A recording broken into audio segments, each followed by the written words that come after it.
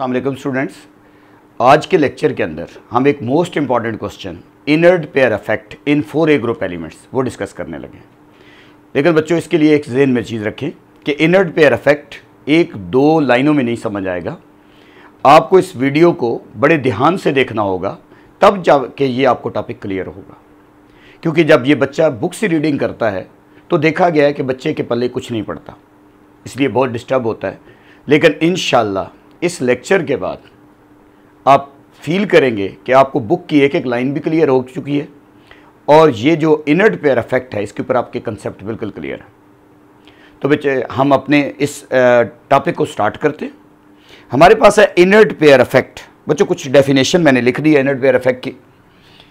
अच्छा आपको पता है कि जो फोर ग्रुप एलिमेंट है ना, इनकी general electronic configuration, n s two होती है या NP2 होती है NS2 और NP2 ये जनरल इलेक्ट्रॉनिक कन्फिग्रेशन अभी मैं लिखूँगा और एलिमेंट्स तो आपको और क्लियर हो जाएगा।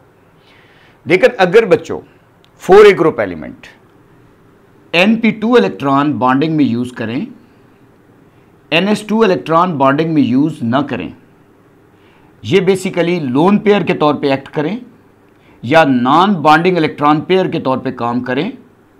इस पेयर ऑफ़ इलेक्ट्रॉन को इनर्ट पेयर कहते हैं। और इसके अफेक्ट को इनर्ड पेयर अफेक्ट कहते हैं। फिर देख लें, जो फोर ए ग्रुप एलिमेंट हैं, इनकी जनरल इलेक्ट्रॉनिक कन्फिग्रेशन NS2 है और NP2 है। अगर four group element NP2 electron bonding में यूज़ करें NS2 इलेक्ट्रॉन बॉन्डिंग में यूज़ न करें, बल्कि ये लोन पेयर के तौर पे एक्ट करें या नॉन बॉन्डिंग पेयर के तौर पे एक्ट करें, इस पेयर ऑफ़ इलेक्ट्रॉन को इनर्ट पेयर कहा जाता है। और इस अफेक्ट को इनर्ट पेयर अफेक्ट कहा जाता है। इसी को मैंने अपनी वर्डिंग में लिख दिया। अब बच्चों इनर्ट पेयर अफेक्ट की definition the n s two electron pair remain inert the n s two electron pair remains inert and does not take part in bond formation this pair of n s two electron is called inert pair of electrons and effect is called inert pair effect बच्चों, एक दफ़ा फिर देख लेते हैं कि जो four group element हैं, उनकी जनरल इलेक्ट्रॉनिक कन्फिग्रेशन टू होती है और टू होती है। अगर वो टू इलेक्ट्रॉन बॉन्डिंग में यूज़ करें टू इलेक्ट्रॉन बॉन्डिंग में यूज़ ना करें, जो एन एस टू इलेक्ट्रॉन्स होते हैं, ये बेसिकली लोन पेयर कहलाते हैं या इनर्ड पेयर कहलाते हैं। और इस अफेक्ट को इनर्ड पेयर अफेक्ट कहते हैं। फोर ए ग्रुप एलिमेंट हो या कोई भी ग्रुप एलिमेंट हो इनर्ड पेयर अफेक्ट टॉप से बॉटम इंक्रीज करता है। इसलिए एक लाइन मैंने लिखी inert pair effect increases down the group बच्चों, कुछ चीज़ें और भी मैं लिखने लगा हूँ यहाँ पे। जैसे इनर्ड पेयर अफेक्ट कहाँ कहाँ, किन ग्रुप्स में मौजूद होता है? एक तो आपको पता होना चाहिए बच्चों कि जो हमारे पास पोस्ट ट्रांजिशन एलिमेंट हैं पोस्ट ट्रांजिशन एलिमेंट इनके अंदर ये पाया जाता है। पोस्ट ट्रांजिशन एलिमेंट्स अब कुछ बच्चों के लिए ये टर्मिनोलॉजी भी मुश्किल है तो इसको मैं और आसान कर देता हूँ। यानी जो डी ब्लॉक एलिमेंट्स हैं, उनके बाद जो एलिमेंट्स आते हैं। आपको पता है डी ब्लॉक एलिमेंट्स में देखें तो पहले फ़र्स्ट ए सेकंड ए उनको छोड़ दें तो फिर दरमियान में डी आते हैं। फिर आगे थ्री ए आते हैं तो इनर्ड पेयर अफेक्ट एक तो याद रखें थ्री ए ग्रुप एलिमेंट्स में होता है। जिसको हम नाम देते हैं, बच्चों, बोरोन फैमिली। ठीक है? Boron family, B C D note करते हैं। और फोर ए ग्रुप एलिमेंट में होता है, जिसको हम नाम देते हैं कार्बन फैमिली, सी से डी नोट करते हैं। और फाइव ए ग्रुप एलिमेंट में भी होता है, और उसको हम नाइट्रोजन फैमिली कहते हैं, उसको एन से हम डिनोट कर रहे देते हैं। तो बच्चों, एक तो याद रखें inert pair effect three A group element में भी हो सकता है, फोर ए ग्रुप एलिमेंट में भी हो सकता है। फाइव ए ग्रुप एलिमेंट में भी हो सकता है और इन तीनों ग्रुप्स में टॉप से बॉटम इंक्रीज करता है। ये बात इसलिए बताई कि बच्चों, बहुत सारे बच्चे इंट्री टेस्ट की प्रिपरेशन भी यहाँ से कर रहे होते हैं तो उनके लिए मल्टीपल चॉइस में इस तरह की बात बता दी जाती है साथ बच्चों, हमारे पास एक तो हमें ये समझ आ गया कि इनर्ट पेयर अफेक्ट ना तो फ़र्स्ट ए में होता है, ना सेकेंड ए में होता है, ना आपके पास जो है फाइव ए के बाद सिक्स ए या सेवन ए ये आखिर वाले हैं, उनमें नहीं होता, बल्कि ये तीन बेसिकली तीन ग्रुप में स्टडी किया जाता है। थ्री ए फोर ए और फाइव ए ग्रुप एलिमेंट्स के अंदर हम ये इनर्ड पेयर अफेक्ट जो है वो स्टडी करते हैं। अब इनर्ड पेयर अफेक्ट को ज़रा डिटेल से जो है वो डिस्कस करते हैं कि इनर्ड पेयर इफ़ेक्ट है क्या? डेफिनेशन तो आपके सामने लिखी हुई है। इनर्ड पेयर इफ़ेक्ट टॉप से बॉटम इंक्रीज करता है। मैं अपने लेक्चर पे वापस आता हूँ बच्चों के फोर ए ग्रुप एलिमेंट की। हम क्योंकि डिस्कशन कर रहे हैं, हम फेडरल की बुक को फॉलो कर रहे हैं। तो इसलिए हम अपने लेक्चर के मुताबिक कार्बन होगा सिलिकॉन होगा इस ग्रुप में जर्मीनियम होगा टिन होगा और लेड होगा। इसके लिए हमने एब्रीवेशन बनाया होता है बच्चों। ससी गई सिंध पंजाब, ये भी बच्चे कहते रहते हैं। या can, silly, German, speak, Punjabi. Can, silly, German, speak, Punjabi. इस तरह भी हम बना लेते हैं कि ये एलिमेंट हमें तरतीब से याद हों। ये हमें अभी तो इनकी इंपॉर्टेंस का अंदाज़ा नहीं है। जब हमें जनरल ट्रेंड आते हैं इंट्री में हम जाते हैं तो वहाँ पे हमें पता तो चल जाता है ये एलिमेंट कौन सी ग्रुप है। लेकिन उसकी तरतीब नहीं याद रहती तो उस वक्त हम पूरा प्रायर टेबल इस तरह बच्चों को याद भी करवाते हैं। अब बच्चों, इसकी इलेक्ट्रॉनिक कन्फिग्रेशन अगर हम देखें तो इसकी जनरल इसकी इलेक्ट्रॉनिक वैलेंस इलेक्ट्रॉनिक कन्फिग्रेशन बन जाएगी टू एस टू और टू पी टू इसकी इलेक्ट्रॉनिक कन्फिग्रेशन बन जाएगी three s two three p two इसकी बन जाएगी फोर एस टू और फोर पी टू इधर आ जाएगा फाइव एस टू और फाइव पी टू इनकी बन जाएगी सिक्स एस टू और सिक्स पी टू। यहाँ तक भी बात समझ आती है। एक और चीज़ भी मैं साथ ही लिख देता हूँ। बच्चों, ये जो कार्बन है, इस, ये आपको पता है, सिर्फ़ प्लस फोर वाले कंपाउंड ज़्यादातर बनाता है, या प्लस फोर या माइनस फोर। ठीक है? अब हमारे पास इसी तरीके से सिलिकॉन जो है, वो हमारे पास प्लस फोर वाले कंपाउंड ज़्यादा बनाता है। जबकि जर्मीनियम और टेन के पास ऑप्शन है, ये प्लस टू वाले कंपाउंड भी बनाते हैं और प्लस फोर वाले भी बनाते हैं। इसी तरीके से ये भी हमारे पास प्लस टू वाला कंपाउंड भी बनाता है प्लस फोर वाला भी बनाएगा। इसी तरीके से हमारे पास ये प्लस टू भी बनाएगा और प्लस फोर भी बनाएगा। शुरू में तो आप देखें प्लस टू बनते ही नहीं है, फिर आहिस्ता आहिस्ता प्लस टू बनना शुरू हो जाते हैं और आखिर में जाके प्लस टू बिल्कुल ही स्टेबल हो जाता है। अब हमें, हमारे पास एक और इनकी अगर मैं आपसे कहूँ जनरल इलेक्ट्रॉनिक कन्फिग्रेशन अगर आप इनकी कर दें तो देखिए, ये आपने, आप ओवरऑल इलेक्ट्रॉनिक कन्फिग्रेशन लिखी। अगर ये टू है तो ये भी टू है। अगर ये थ्री है तो इधर भी थ्री है। यहाँ फोर है तो इधर भी फोर है। तो इस जनरल इलेक्ट्रॉनिक कन्फिग्रेशन इन सब की मिलाकर हम लिख सकते हैं एन एस टू और एन पी टू ये हमारे पास इनकी electronic configuration general electronic configuration of four A group element बन जाएगी। एक बच्चों, और चीज़ हमने याद करनी है कि पॉजिटिव टू ऑक्सीडेशन स्टेट क्योंकि ये प्रीवियस लेक्चर में मैं पढ़ा चुका हूँ इसकी स्टेबिलिटी टॉप से बॉटम इंक्रीज हो रही है जी। Due to inert pair effect ये मैंने आपको कहा था कि आज के लेक्चर के अंदर आपको अच्छा समझ आ जाएगा। पॉजिटिव टू ऑक्सीडेशन स्टेट की स्टेबिलिटी टॉप से बॉटम इंक्रीज हो रही है। और जो हमारे पास कंपैरिजन में पॉजिटिव फोर ऑक्सीडेशन स्टेट की स्टेबिलिटी टॉप से बॉटम जो है, वो डिक्रीज हो रही है। पॉजिटिव फोर ऑक्सीडेशन स्टेट की स्टेबिलिटी टॉप से बॉटम डिक्रीज हो रही है। ये भी हमें एक लाइन याद हो गई। अब हमें एक तो याद रखना है। कि अगर हमारे पास जो फोर ए ग्रुप एलिमेंट है अच्छा ये होता क्यों है? इनर्ड पेयर इफ़ेक्ट होता क्यों है? बच्चों, इसको बिल्कुल मैं एंड पे जाके एक्सप्लेन करूँगा कि ऐसा क्यों होता है। यानी इनर्ड पेयर इफ़ेक्ट क्यों टॉप से बॉटम इंक्रीज करता है और सबसे ज़्यादा इस ग्रुप में लेड का क्यों होता है? ये बच्चों एंड पे जाके मैं पूरी बात कंक्लूड करूँगा। अभी मैं आपके सामने ये बता रहा हूँ कि अगर कोई भी फोर ग्रुप एलिमेंट जो है, सिर्फ़ टू इलेक्ट्रॉन बॉन्डिंग में यूज़ करेगा तो फिर वो plus two oxidation state show करेगा। इसलिए एक लाइन लिख लेते हैं कि when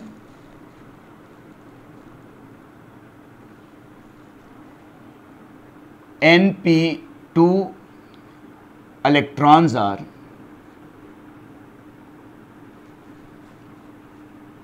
lost अगर n p two electron loss हो तो हमारे पास स्टेबल ऑक्सीडेशन स्टेट होगी। Stable oxidation state, stable oxidation state plus two होगी। ये हमारे पास होगी जी। ये जो स्टेबल ऑक्सीडेशन स्टेट होगी, वो हमारे पास प्लस टू होगी। अब अगर मैं इनको कंपैरिजन करता हूँ, कंपैरिजन में लेके चलता हूँ तो बच्चों मेरे पास, क्योंकि आपको पता है, कार्बन और सिलिकॉन में जो है वो basically positive two oxidation state show ही नहीं करते। उनमें इनर्ट पेयर होता ही नहीं है। बच्चों इनर्ट पेयर सिर्फ़ उन्हीं में पाया जाता है जो positive two oxidation state show करते हैं। इसका मतलब है inert pair effect germanium tin और लेड में मौजूद है। और सबसे ज़्यादा इनर्ट पेयर इफ़ेक्ट जो है वो लेड के अंदर होता है। अगर एन इलेक्ट्रॉन बॉन्डिंग में यूज़ हो एन इलेक्ट्रॉन बॉन्डिंग में यूज़ ना हो तो फिर मेरे पास स्टेबिलिटी ऑर्डर ये चलेगा कि जी पॉजिटिव टू ये जो होगा ये लेस स्टेबल होगा, क्योंकि पॉजिटिव टू ऑक्सीडेशन स्टेट की स्टेबिलिटी टॉप से बॉटम इंक्रीज कर रही है due to inert pair effect तो इसमें इनर्ट पेयर इफ़ेक्ट कम है, इसलिए ये कम स्टेबल होगा, इसी तरीके से एस एन पॉजिटिव टू से। और एस एन पॉजिटिव टू जो है, वो कम स्टेबल होगा पी बी पॉजिटिव टू से। अभी हमें एक ऑर्डर याद हुआ कि अगर कोई भी four group element n p two electron bonding में यूज़ करता है n s two electron bonding में यूज़ नहीं करता तो वो इनर्ट पेयर इफ़ेक्ट शो करेगा और इनर्ट पेयर इफ़ेक्ट टॉप से बॉटम इंक्रीज करता है तो जर्मीनियम की positive two oxidation state less stable होती है टिन से और टिन की positive two oxidation state less stable होती है लेड से। अब एक और बात when all n p two and n s two electron are lost अगर सारे एन पी टू और n s two electron loss हो जाएँ तो फिर स्टेबल ऑक्सीडेशन स्टेट जो होगी वो पॉजिटिव फोर होगी। और पॉजिटिव फोर ऑक्सीडेशन स्टेट की स्टेबिलिटी टॉप से बॉटम डिक्रीज कर रही है। सिर्फ़ कंपैरिजन हम इन तीनों में करेंगे बेटा। वजह यह है कि ये तो वेरिएबल ऑक्सीडेशन स्टेट शो ही नहीं कर रहा। तो इनको आपस में कंपेयर करना है। तो मैंने कहा कि जब वैन शॉर्ट में थोड़ी सी एक लाइन लिख लेते हैं। When all n p two n s two and n p two electron are lost. Electron are lost. तो स्टेबल ऑक्सीडेशन स्टेट क्या होगी बच्चों? Stable oxidation state plus four होगी। उस वक्त उनकी स्टेबल ऑक्सीडेशन स्टेट जो है, वो प्लस फोर होगी। यानी वो प्लस फोर ऑक्सीडेशन स्टेट में स्टेबल होंगे, वो plus four oxidation state show करेंगे। अब हम टॉप से बॉटम आते हैं तो जी पॉजिटिव फोर जो है ये लेस स्टेबल है, यानी आपके पास ये मोर स्टेबल है, क्योंकि स्टेबिलिटी टॉप से बॉटम पॉजिटिव फोर की डिक्रीज हो रही है, ये मोर स्टेबल होगा टेन के प्लस फोर से। और टेन का प्लस फोर वाला कंपाउंड ज़्यादा स्टेबल होगा लेड के पॉजिटिव फोर वाले कंपाउंड से। यहाँ तक भी हम बात पहुँच चुके हैं। कि बच्चों, अगर एन पी टू इलेक्ट्रॉन भी यूज़ हो रहे हैं N S two electron N P two और एन एस टू दोनों यूज़ हो रहे हैं तो positive four oxidation state element show करेगा। और अगर वो positive show positive four oxidation state show करेगा तो उस फॉर्म में अगर वो मुझे स्टेबल नज़र आ रहा है तो उनका जो स्टेबिलिटी ऑर्डर होगा वो ये होगा। यानी ये सबसे ज़्यादा स्टेबल और ये सबसे कम स्टेबल अगर पॉजिटिव टू ऑक्सीडेशन स्टेट होगी तो स्टेबिलिटी ऑर्डर ये चलेगा कि ये सबसे कम स्टेबल और ये सबसे ज़्यादा स्टेबल ये अभी तक हमारे पास ऑर्डर आ चुका है। अब हम एक और ऑर्डर निकालना चाह रहे हैं कि प्लस टू और प्लस फोर को आपस में कंपेयर करें। इसके टिन के प्लस टू को प्लस फोर से आपस में कंपेयर करें। तो हम इसकी जगह एक हेडिंग क्रिएट कर लेते हैं। Oxidising and reducing properties oxidising and reducing reducing properties oxidising and reducing properties में अगर हम चलते हैं तो बच्चों आप जर्मीनियम के आपस में दोनों कंपाउंड कंपेयर करते हैं। ये याद रखें कि ये जो बात हो रही है कंपैरिजन में चल रही है। तो बच्चों, हमें पता चला कि शुरू में तो प्लस टू बनना शुरू हुआ, फिर थोड़ा सा स्टेबल हुआ और एंड पे जाके मोर स्टेबल हुआ। तो अब जब जर्मीनियम के दो कंपाउंड कंपेयर करते हैं हम तो जर्मीनियम का पता चलता है कि जो जर्मीनियम का प्लस टू वाला कंपाउंड है, वो लेस स्टेबल है इसीलिए वो इलेक्ट्रॉन हमेशा लॉस करता है और लॉस करके प्लस टू से प्लस फोर में कन्वर्ट होने की कोशिश करता है। प्लस इलेक्ट्रॉन लॉस हो गया, ये खुद ऑक्सीडाइज हो गया। अगर बच्चों, ये खुद ऑक्सीडाइज हो गया है तो लाजमी बात है, ये आपके पास लेस स्टेबल चीज़ है। लेस स्टेबल और ये आपके पास जो बनने वाली प्रोडक्ट है कंपैरिजन में, ये आपके पास है मोर स्टेबल ये है मोर स्टेबल ये प्लस टू से प्लस फोर में जा रहा है। अगर ये प्लस टू से प्लस फोर में जा रहा है तो खुद तो ऑक्सीडाइज हो रहा है। देखो प्लस टू से प्लस फोर में जा रहा है, खुद ऑक्सीडाइज हो रहा है। दूसरों को क्या करेगा? रिड्यूस ये रिड्यूसिंग एजेंट कहलाएगा। प्लस टू वाले कंपाउंड इसके रिड्यूसिंग एजेंट होंगे, क्योंकि वो खुद ऑक्सीडाइज होते हैं, दूसरों को रिड्यूस करते हैं। और अगर प्लस फोर वाला है तो इसके पास ऑप्शन है, क्योंकि दो ही ऑक्सीडेशन स्टेट है। ये प्लस फोर से वापस अगर प्लस टू में आएगा, खुद रिड्यूस होगा, अगर खुद रिड्यूस होगा, दूसरे को ऑक्सीडाइज करेगा तो इसके प्लस फोर वाले कंपाउंड होंगे। ये सारे के सारे ऑक्सीडाइजिंग एजेंट कहलाएँगे। ये ऑक्सीडाइजिंग एजेंट है। इसी तरीके से अगर हम जर्मीनियम के बाद टिन पे आते हैं तो मेरे पास टिन है इसका प्लस टू वाला कंपाउंड देखा गया है कंपैरिजन में, ज़्यादा स्टेबल है, इसलिए प्लस टू से ये इलेक्ट्रॉन लॉस करके प्लस फोर वाले कंपाउंड में कन्वर्ट होने की कोशिश करता है प्लस टू इलेक्ट्रॉन लॉस हो जाते हैं। ये ऑक्सीडाइज हो रहा है, इस वक्त लाजमी बात है, ये वाली चीज़ जो चीज़ है, ये हमारे पास लेस स्टेबल है। ये लेस स्टेबल और ये आपके पास जो है इस वक्त मोर स्टेबल है मोर स्टेबल फॉर्म है इसकी। और अगर ये प्लस टू से प्लस फोर में जा रहा है तो खुद तो ऑक्सीडाइज हो रहा है, दूसरे को रिड्यूस कर रहा है। ये रिड्यूसिंग एजेंट कंपाउंड कहलाएगा। रिड्यूसिंग एजेंट और ये वाले कंपाउंड इसके जो हैं, वो कहलाएँगे ऑक्सीडाइजिंग एजेंट ऑक्सीडाइजिंग एजेंट ये हमारे पास है। इसी तरीके से बच्चों, जब हम आते हैं लेड के ऊपर तो लेड बिल्कुल डिफरेंट बिहेवियर शो करता है। बच्चों लेड क्या कर देता है? लेड ऐसे शो करता है कि वो प्लस फोर वाला कंपाउंड उसका लेस स्टेबल होता है। ये फ़ौरन ही दो इलेक्ट्रॉन गेन करता है रिड्यूस होता है प्लस टू वाले में कन्वर्ट होने की कोशिश करता है। ये वाले में कन्वर्ट होने की कोशिश करता है। अब आपको पता है कि ये आपके पास लेस स्टेबल लेस स्टेबल और ये कंपाउंड जो इसका है, वो मोर स्टेबल में कन्वर्ट हो जाता है। मोर स्टेबल में कन्वर्ट हो गया। तो लाजमी बात है प्लस फोर वाला जब प्लस टू में जा रहा है तो खुद तो रिड्यूस हो रहा है, दूसरे को क्या कर रहा है? लाजमी बात है बच्चों, अगर खुद रिड्यूस हो रहा है, दूसरे को ऑक्सीडाइज कर रहा है, ये प्लस फोर वाला कंपाउंड इसका ऑक्सीडाइजिंग एजेंट कहलाता है। ऑक्सीडाइजिंग एजेंट और ये वाला जो इसका कंपाउंड कहलाता है प्लस टू वाला, ये कहलाता है जी रिड्यूसिंग एजेंट रिड्यूसिंग एजेंट क्योंकि खुद तो प्लस टू से प्लस फोर में जाएगा तो ऑक्सीडाइज होगा, दूसरे को रिड्यूस करेगा। तो मेरे पास एक और स्टेबिलिटी आर्डर आ गया। बच्चों, अब एक तो ऑर्डर याद हो गया टू ऑक्सीडेशन स्टेट का ये ऑर्डर है। स्टेबिलिटी आर्डर प्लस फोर ऑक्सीडेशन स्टेट का स्टेबिलिटी ऑर्डर मेरे पास ये है। अब इनका एक और स्टेबिलिटी आर्डर जो है, वो मैं यहाँ लिखने लगा हूँ। बेटा स्टेबिलिटी आर्डर क्या होगा कि पता चला कि प्लस टू वाला प्लस फोर में जाने की कोशिश करता है लेस स्टेबल से मोर स्टेबल तो एक तो हमें यहाँ पे याद हो गया कि जो जर्मीनियम का है प्लस फोर वाला कंपाउंड प्लस टू वाला कंपाउंड ये लेस स्टेबल है।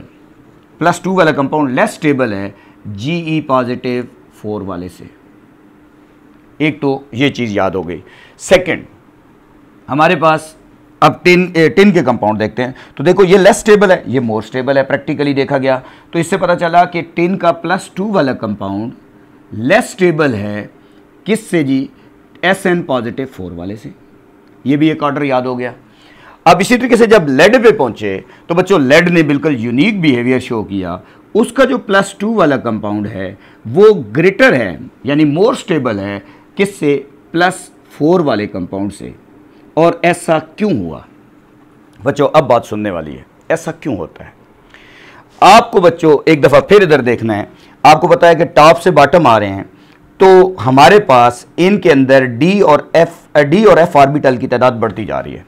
जैसे आपको पता है कि डी ऑर्बिटल थ्री से शुरू होता है और एफ़ ऑर्बिटल जो है, वो हमारे पास फोर से शुरू होता है। फोर एफ़ होता है थ्री एफ़ नहीं होता। डी थ्री होता है टू डी ऑर्बिटल नहीं होता। इससे आगे शुरू होता है। इसके पास डी आर्बिटल मौजूद है एफ़ नहीं है। इसलिए इसमें इनर पेयर उस तरह, और वो एफ़ भी इनर नहीं है आउटर है। इसीलिए उसमें इलेक्ट्रॉन ही नहीं है, वो अफेक्ट नहीं शो करेगा। अच्छा इसके पास थ्री डी होगा, ठीक है? इसके पास थ्री डी होगा, इसके पास थ्री डी भी होगा और फोर एफ़ भी होगा। अच्छा लेड के पास क्या होगा बच्चों? देखें six six S two six P two तक जाना है। तो इसमें थ्री डी भी पड़ा होगा फोर एफ़ भी पड़ा होगा फोर डी भी पड़ा होगा और फाइव डी भी पड़ा होगा और फाइव एफ़ भी पड़ा होगा। इनर जो डी और एफ़ ऑर्बिटल हैं, सबसे ज़्यादा लेड के पास मौजूद हैं। और आपको पता है जो हमारे पास डी और एफ़ होते हैं, इनका पुअर शील्डिंग इफ़ेक्ट होता है। शील्डिंग इफ़ेक्ट होता क्या है बेटा? ये देखो, आप, हमारे पास न्यूक्लियस है और सबसे बाहर वाला इलेक्ट्रॉन यहाँ पे पाया जा रहा है। दरमियान में बहुत सारे शेल आ रहे हैं। उन शेल की वजह से जो दरमियान में शील्ड आ रही है फोर्स ऑफ़ अट्रैक्शन अगर कम हो जाए न्यूक्लियस में और सबसे बाहर वाले इलेक्ट्रॉन में इन शेल की वजह से उसे हम शील्डिंग इफ़ेक्ट कहते हैं। और पुअर शील्डिंग इफ़ेक्ट का मतलब ये होता है कि उसने अच्छे तरीके से डी और एफ़ ऑर्बिटल लेड के पास as compare to other element ज़्यादा हैं जब डी और एफ़ ऑर्बिटल की उनके पास तादाद ज़्यादा है तो हर एक आप समझ लें ऑर्बिटल में डी और एफ़ ऑर्बिटल जब ज़्यादा आ जाएँगे शेल के अंदर ज़्यादा डी और एफ़ ऑर्बिटल आएँगे, इनका पुअर शील्डिंग इफ़ेक्ट होगा।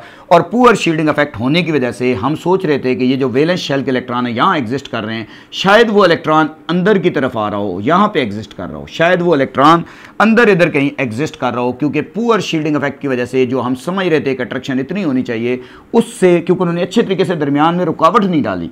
उन्होंने अच्छे तरीके से दरमियान में शील्ड नहीं किया तो ये इलेक्ट्रॉन जहाँ पे ओरिजिनल पोजीशन से थोड़ा सा अंदर की तरफ़ इनर साइड पे अट्रैक्ट हो जाते हैं। इसलिए हमारे पास जो साइज़ है स्लाइटली जो है, आप समझ लें कि जैसे हम इस जगह पे आते हैं तो हमारे पास इसका साइज़ स्लाइटली श्रिंक हो गया। ज़्यादा श्रिंक हो गया एक्स्ट्रा श्रिंक हो जाता है, जिसकी वजह से जब हम इसके ये वाले इलेक्ट्रॉन लॉस कर देते हैं, ये वाले इलेक्ट्रॉन अगर हम लॉस कर देते हैं तो पहले ही पुअर शील्डिंग इफ़ेक्ट डी और एफ़ की वजह से इलेक्ट्रॉन निकालना मुश्किल हो रहा था। तो बच्चों, अब डी में से जो हमारे पास लेड है, उसमें से दो इलेक्ट्रॉन लॉस हो चुके हैं, वह प्लस टू वह शो कर चुका है। न्यूक्लियस में और प्रोटॉन बढ़ चुके हैं, यानी इलेक्ट्रॉन प्रोटॉन पहले बराबर थे, अब प्रोटॉन ज़्यादा हो चुके हैं। जब प्रोटॉन ज़्यादा हो जाएँगे तो अब इन इलेक्ट्रॉन को इन इलेक्ट्रॉन को एक किस्म से उस ऑर्बिटल से निकालना इम्पॉसिबल होगा।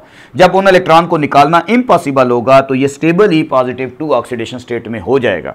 इसीलिए, और एक और वजह यह है कि बच्चों, जब ये बेसिकली हमारे पास six P two electron loss हो जाते हैं तो सिक्स एस टू इलेक्ट्रॉन अपनी ओरिजिनल पोजीशन से ज़्यादा अंदर की तरफ़ अट्रैक्ट हो जाते हैं। अब जो पी आर्बिटल खाली पड़ा हुआ है, उसके अंदर इलेक्ट्रॉन का एस और पी के दरमियान गैप बहुत बढ़ जाता है। एस और पी के दरमियान, क्योंकि ये शेल ज़्यादा अंदर की तरफ़ अट्रैक्ट हो जाता है तो गैप बढ़ जाता है, और फिर इतनी एनर्जी इनके पास मौजूद नहीं होती। जैसे आपको पता है, ये दो बाड बनाएगा तो एनर्जी तो रिलीज़ होगी। वो एनर्जी इतनी काफ़ी नहीं होती कि इन इलेक्ट्रॉन को प्रमोट करके अनपेड करके, किसी तरीके से इनमें से कोई एक इलेक्ट्रॉन अनपेड करके पी में भेज दे और अनपेड इलेक्ट्रॉन बॉन्डिंग में यूज़ कर सकें। कार्बन ऐसा क्यों कर सकता है बेटा? आपको पता है कि कार्बन के अंदर इनर्ट पेयर इफ़ेक्ट मौजूद नहीं है। जब इनर्ट पेयर इफ़ेक्ट मौजूद नहीं है तो वहाँ पे जो बेसिकली एस और पी आर्बिटल हैं, उनके दरमियान जो गैप है एस और पी आर्बिटल हैं, उनके दरमियान गैप जो है वो कांस्टेंट है, बहुत ज़्यादा गैप नहीं है। जब हम यहाँ से ये बॉन्डिंग में इलेक्ट्रॉन यूज़ करते हैं तो ये जब दो इलेक्ट्रॉन बॉन्डिंग में यूज़ करते हैं तो एनर्जी रिलीज़ होती है। जब एनर्जी रिलीज़ होती है तो वो एनर्जी जो है, कंज्यूम कहाँ पे होती है? वो 6s से इलेक्ट्रॉन प्रमोट करा के जो नेक्स्ट इसका p खाली पड़ा होता है, दो, एक इलेक्ट्रॉन पी एक्स में है, एक पी वाई में है, पी जेड खाली पड़ा होता है, ये इलेक्ट्रॉन प्रमोट होकर आगे चला जाता है। और वो अनपेड हो जाता है। जब वो अनपेड हो जाता है तो ये चारों इलेक्ट्रॉन अपनी बॉन्डिंग में यूज़ कर लेता है। यही वजह है कि कार्बन जो है वो टेट्रावेलेंट होता है और बाकी जो हमारे पास लेड वगैरह हैं, ये डाइवेलेंट होते हैं। तो यहाँ पे हमें इनर्ट पेयर इफ़ेक्ट की बात तो समझ आ गई। बच्चों, अब हम इसमें अगर इसका स्क्रीन लेना है तो आप ले लें। बच्चों, मैं आगे बात अभी चला रहा हूँ। जी बच्चों तो अभी हम इसमें नेगेटिव ऑक्सीडेशन स्टेट की बात करते हैं। फोर ग्रुप एलिमेंट जो होते हैं, इनमें इन ये ज़्यादा इलेक्ट्रोनेगेटिव नहीं होते बेटा। और ये आमतौर पर नेगेटिव ऑक्सीडेशन स्टेट शो नहीं करते एक्सेप्ट कार्बन ठीक है? तो इसलिए इसके अंदर हम एक बात करने लगे हैं नेगेटिव ऑक्सीडेशन स्टेट ये हेडिंग इसी के अंदर बुक बुक में नज़र आ रही है बच्चों। नेगेटिव ऑक्सीडेशन स्टेट अगर मैं आपसे कहूँ negative oxidation state four group element क्यों नहीं शो करते? मोस्टली तो इसकी वजह यह है कि इनकी इलेक्ट्रोनेगेटिविटी बहुत कम, ज़्यादा नहीं होती बच्चों। इनकी इलेक्ट्रोनेगेटिविटी लेस होती है। ठीक है? तो एक लाख लाइन भी लिख लेते हैं कि they have low value of electronegativity इनकी इलेक्ट्रोनेगेटिविटी बहुत कम होती है, इसलिए ये इलेक्ट्रॉन को खींचने की ताकत बहुत कम रखते हैं। एक्सेप्ट कार्बन कार्बन की इलेक्ट्रोनेगेटिविटी जो है, वो सबसे हाईएस्ट होती है। यही वजह है कि कार्बन जो है, वो नेगेटिव ऑक्सीडेशन स्टेट के कंपाउंड बनाता है। जैसे आपने देखा होगा carbon C two minus two की फॉर्म में भी होता है और सी माइनस फोर की फॉर्म में भी एग्जिस्ट करता है। जैसे कैल्शियम कार्बाइड की अगर हम बात करें तो कार्बन के ऊपर माइनस टू चार्ज है और इसके ऊपर चार्ज प्लस टू है। और अगर हम लिथियम का कार्बाइड बनाएँ तो एल आई फोर सी होता है। अब इसके ऊपर चार्ज एक पे प्लस फोर होगा, इस पे चार्ज जो है वो माइनस फोर होगा। तो जो हमारे पास कार्बन है ओनली फोर ग्रुप एलिमेंट में नेगेटिव ऑक्सीडेशन स्टेट शो करता है, बाकी कोई भी four group element negative oxidation state show नहीं करता। अब जो हमारे पास, क्योंकि इसमें दो ऑक्सीडेशन स्टेट होती हैं तो एक हम चीज़ पढ़ने लगे हैं, इसके अंदर nature of nature of M positive two and M positive four compounds M positive two का मतलब पॉजिटिव टू ऑक्सीडेशन स्टेट वाले एम पॉजिटिव फोर का मतलब फोर ऑक्सीडेशन स्टेट वाले, इसके लिए एक हमारे पास रूल पढ़ाया जाता है बच्चों हमें, इसको हम नाम देते हैं फैजन रूल ये जो फैजन रूल है, ये क्या कहता है बेटा? ये कहता है कि अगर कैटाइन का साइज़ छोटा होगा तो उसके कंपाउंड कोवलेंट होंगे। अगर कैटाइन का साइज़ छोटा होगा तो उसके कंपाउंड कोवलेंट होंगे। अगर कैटाइन का साइज़ बड़ा होगा तो उसके कंपाउंड अगर कैटाइन का साइज़ छोटा होगा तो उसके कंपाउंड कोवलेंट होंगे। अगर कैटाइन का साइज़ बड़ा होगा, उसके कंपाउंड आइनिक होंगे। यानी इसको अगर मैं एक लाइन में लिखना चाहूँ तो मैं लिख सकता हूँ smaller smaller the cation cation with high charge density, क्योंकि जो चीज़ साइज़ में छोटी होती है, उसकी चार डेंसिटी ज़्यादा होती है। Smaller the cation with high charge density make the bond make the bond more covalent more covalent अगर कैटाइन साइज़ में छोटा होगा, उसकी चार डेंसिटी ज़्यादा होगी और वो बॉन्ड को ज़्यादा कोवलेंट बना देगा। या आसान वर्डिंग में लिख सकते हैं smaller the cation greater will be the amount of covalent character and vice versa smaller the cation greater will be the amount of covalent character and vice versa जैसे बच्चों, आपको समझाने के लिए मैं इस साइड पर थोड़ी सी इसकी एक्सप्लेनेशन देता हूँ। कि हमारे पास सपोज़ करें टिन के दो कंपाउंड हैं एस एन पॉजिटिव टू और एस एन पॉजिटिव फोर इनमें से कोवलेंट कौन सा है? आइनिक कौन सा है? इसी तरीके से लेड के ऊपर भी हम बात कर सकते हैं।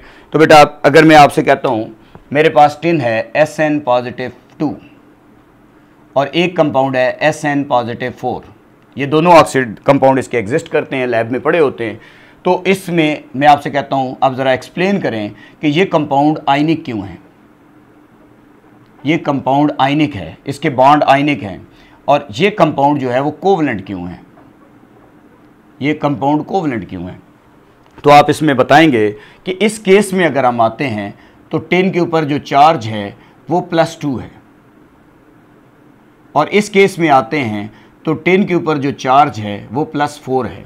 जितने इलेक्ट्रॉन निकालते जाओ या जितना पॉजिटिव चार्ज बढ़ता जाए साइज़ छोटा होता जाता है। बच्चों, अब कंपैरिजन में इस कैटाइन का साइज़ लार्ज है। इसमें से सिर्फ़ दो इलेक्ट्रॉन निकले हुए हैं। और इसमें और इलेक्ट्रॉन निकल चुके हैं। न्यूक्लियस की तरफ़ प्रोटॉन की फोर्स ऑफ़ अट्रैक्शन और बढ़ चुकी है। जितना पॉजिटिव चार्ज बढ़ता है साइज़ छोटा होता है। कंपैरिजन में ये स्मॉलर कैटाइन है। ये साइज़ में स्मॉल है। और रूल कहता है, अगर कैटाइन स्मॉल होगा, उसकी चार डेंसिटी हाई होगी और उसके कंपाउंड कोवलेंट होंगे। अगर इसका कैटाइन का साइज़ स्मॉल है तो इसकी चार डेंसिटी हाई होगी और इसका कंपाउंड क्या होगा? फैजन रूल के मुताबिक ये कोवलेंट होगा। देखो ये कोवलेंट कंपाउंड है। इसका साइज़ कंपेरिजन में इससे बड़ा है तो लाजमी बात है, इसका साइज़ बड़ा है तो फैजन रूल कहता है कि अगर कैटाइन का साइज़ बड़ा होगा तो उसके कंपाउंड जो होंगे, वो आइनिक होंगे। तो ये आपके पास आइनिक कंपाउंड बनाता है। अब इस जगह पे बच्चे थोड़े से पूछ रहे होते हैं कि, सर, ऐसे कैसे है कि ये क्यों कोवलेंट है? तो बच्चों, आप सपोज़ करें, ये एक कैटाइन है। इसका साइज़ लाजमी बात है, मैं थोड़ा सा बड़ा बना देता हूँ ऐसे। ये पॉजिटिव टू वाला है।